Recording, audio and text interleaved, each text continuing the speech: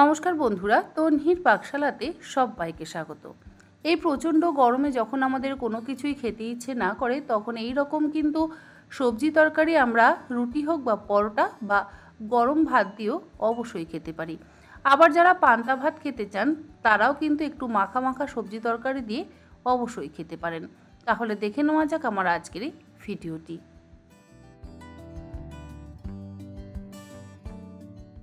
রুটি হোক বা পরোটা বা লুচি যে কোনো কিছুর সাথেই এই রকমের যদি তরকারি বানিয়ে খাওয়া যায়, তাহলে অসম্ভব ভালো লাগে।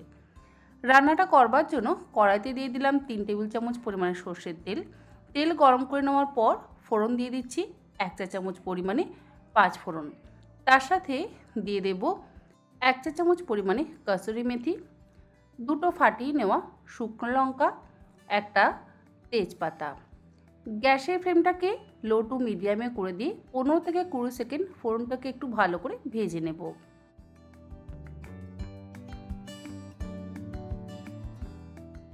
ফোড়নের থেকে সুন্দর গন্ধ বেরোতে শুরু করলে দিয়ে দেবো এর মধ্যে খোসা সমেত একটু বড় টুকরো করে কেটে নেওয়া আলু। এখানে আমি দুটো বড় সাইজের আলুর ব্যবহার করেছি আর তার সাথে দিয়ে দেব তিনশো গ্রাম পরিমাণে খোসা সমেত বড় টুকরো করে কেটে নেওয়া মিষ্টি কুমড়ো। আলুটাকে প্রথমে গ্যাসের ফ্লেমটাকে হাইতে করে দিয়ে দু মিনিট ভেজে নিচ্ছি, তারপরে মিষ্টি কুমড়োটা ব্যবহার করব।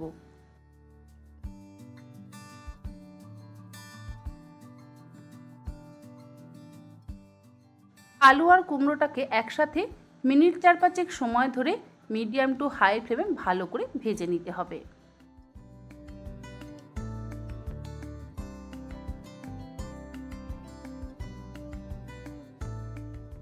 আলু কুমড়ো ভাজার সময়তেই এর মধ্যে দিয়ে দিচ্ছি স্বাদ অনুসারে লবণ লবণ দিয়ে যদি ভাজা হয় তাহলে তাড়াতাড়ি সবজিগুলো সেদ্ধ হয়ে যাবে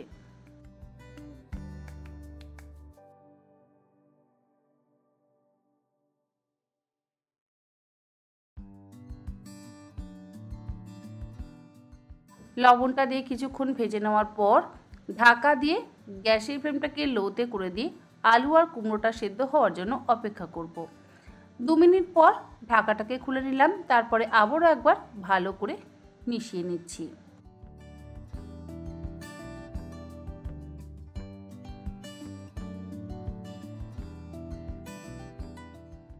এইভাবে দু তিনবার ঢাকা খুলে এবং ঢাকা বন্ধ করে আলু আর কুমড়োটাকে ভেজে নিলে খুব সুন্দরভাবে কিন্তু জল ছাড়াই ভেজে নেওয়া যায়। তিন চার মিনিট ঢাকা খুলে ঢাকা বন্ধ করে ভেজে নেওয়ার পর এর মধ্যে দিয়ে দিলাম এক চা চামচ পরিমাণে থেতো করে নেওয়া আদা আর ওয়ান ফোর চা চামচ পরিমাণে হিং। আদা আর হিং দিলে এই আলু কুমড়োর ছক্কা বা আলু কুমড়োর তরকারিতে অসম্ভব ভালো স্বাদ হয়। আদা আর হিং দিয়ে আবারও একবার মিশিয়ে ভেজে নিচ্ছি। এরপরে এর মধ্যে দিয়ে দিচ্ছি হাফ চা চামচ পরিমাণে হলুদ গুঁড়ো আর দেব এক চা চামচ পরিমাণে কাশ্মীরি লঙ্কার গুঁড়ো। অল্প একটু জল দিয়ে একসাথে ভালো করে মশলা দিয়ে আলু কুমড়োটাকে কষিয়ে নেব।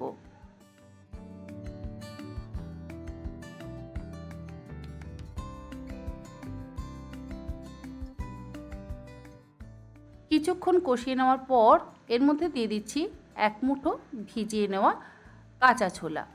ছোলা কিন্তু আমি সেদ্ধ করিনি আর এখানে কিন্তু কাবুলি ছোলার ব্যবহার করিনি। দিয়ে দিলাম একটা টমেটো। টমেটোটাকে একটু বড় টুকরো করে কেটে নিচ্ছি।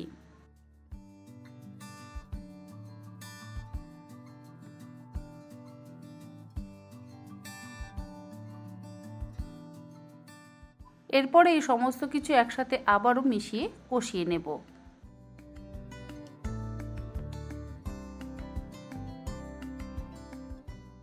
আর কষানোর পর অল্প একটু জল দিয়ে ঢাকা দিয়ে আলু কুমড়োটা সেদ্ধ হওয়ার জন্য অপেক্ষা করব। অপরদিকে পনির বানাবার জন্য আমি একটা বড় সসপ্যানের মধ্যে নিয়ে নিয়েছি এক লিটার দুধ। গ্যাসের ফ্লেমটাকে হাইতে করে দিয়ে দুধটাকে জাল করে নেব। দুধ জাল দিয়ে নেওয়া হয়ে যাওয়ার পর গ্যাসের ফ্লেমটাকে বন্ধ করে দিয়ে কিছুক্ষণ দুধটাকে ঠান্ডা করে নেওয়ার পর এর মধ্যে দিয়ে দিলাম দু চা চামচ পরিমাণে ভিনেগার। ভিনেগারের বদলে আপনারা চাইলে ক্যালসিয়াম ল্যাকটেট বা পাতিলেবুর রস বা টক দইয়েরও অবশ্যই ব্যবহার করতে পারেন। ছানাটা আমার কাটিয়ে নেওয়া হয়ে যাওয়ার পর ছানার জলটাকে ছেঁকে নেব। ছানার জল কিন্তু আপনারা চাইলে যে কোনো রান্নাতে ব্যবহার করতে পারেন। বিশেষ করে ডাল সেদ্ধর ক্ষেত্রে অবশ্যই ছানার জল ব্যবহার করতে পারেন।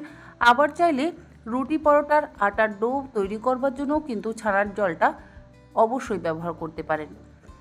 ছানাটা আমার কাটিয়ে নেওয়া হয়ে গেছে আর চিপে চিপে আমি ছানার জলটা বার করে নিচ্ছি। তবে এই জলটা আমি ফেলে দেব না। পরবর্তীতে যদি কোনো রান্না করি, সেই সময় এই জলটা ব্যবহার করব। এটাকে আমি কন্টেনারে ভরে ফ্রিজে রেখে দেব। ছানাটা কাটিয়ে নেওয়ার পর একটা ছুরির সাহায্যে বড় টুকরো করে কেটে নিচ্ছি যেভাবে আমরা পনির টুকরো করে কেটে নিই।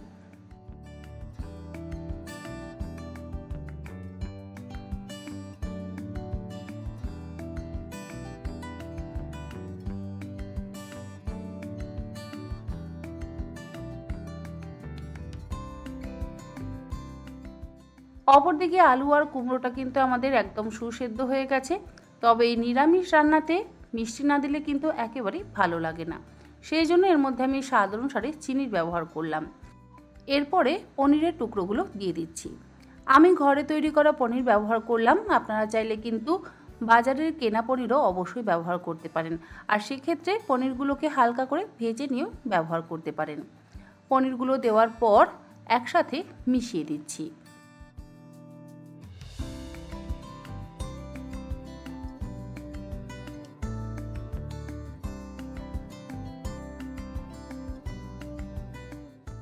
সবশেষে দিয়ে দিচ্ছি তিনটে চেরা কাঁচা লঙ্কা।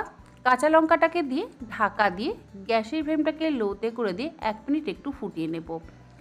এই রান্নাটা একটু মাখা মাখা হলেই ভালো হয়, তবে আপনারা চাইলে একটু ঝোল ঝোলও অবশ্যই রাখতে পারেন। কিন্তু আমার মনে হয় রুটি বা পরোটা বা লুচির সাথে খাবার জন্য যদি একটু মাখা মাখা তরকারি বানিয়ে নেওয়া যায়, তাহলে স্বাদটা বেশি ভালো হয়। দু মিনিট ঢাকা দিয়ে রাখার পর ঢাকাটাকে খুলে নিলাম। সবশেষে দিয়ে দিলাম সামান্য পরিমাণে একটু ধনে পাতা কুচি। গ্যাসের ফ্লেমটাকে বন্ধ করে দিয়ে ঢাকা দিয়ে পাঁচ মিনিট স্ট্যান্ডিং টাইমে রেখে তারপর এটাকে সার্ভ করব। আশা করি আমার আজকের এই কম মশলা এবং সম্পূর্ণ নিরামিষ রেসিপিটি আপনাদের ভালো লাগল। ভালো লাগলে আপনারা যে কোনো দিন এই রেসিপিটা অন্তত একবার রাতে হোক বা দুপুরে জলখাবার বা রাতের খাবারের জন্য বানিয়ে নিতেই পারেন। আজ তাহলে এই পর্যন্ত। আবার হাজির হয়ে যাব অন্যদিন অন্য কোনো রেসিপি নিয়ে। ভালো থাকবেন সুস্থ থাকবেন। ধন্যবাদ।